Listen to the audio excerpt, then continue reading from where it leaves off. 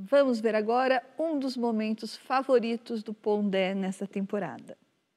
Qual é a sua utopia, Thaís? A minha utopia é. Você vai dar risada, mas é a do amor perfeito.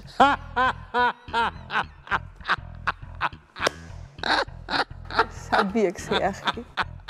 Ah, Thaís, o amor perfeito, Thaís. Tu vai passar a vida inteira procurando, Thaís. É uma utopia. Adorei. Boa sorte. Você acha graça, né? E aí, Japo encontrou? Eu encontrei outra coisa. Eu encontrei Encontrou outra coisa. outra coisa? É, que eu que encontrei isso encontrou? aqui, ó. É um livro, lá vem ela. um livro, encontrei um livro que diz assim, ó.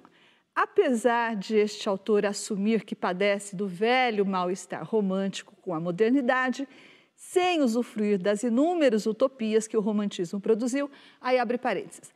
Natureza, vida simples, socialismo, talvez eu padeça apenas da utopia do amor romântico. Quem será que escreveu Quem é isso essa aqui? besta? Luiz Felipe Pondé. Ah, que golpe mais baixo! Ah, é por Você isso que eu posso quer- rir de você. Ah, Você também quer que eu rasgue o que você escreveu? não, eu não vou dar uma de FHC. Quem sou eu para me comparar ao FHC? Então não sou a única. não, é por isso que eu posso rir de você.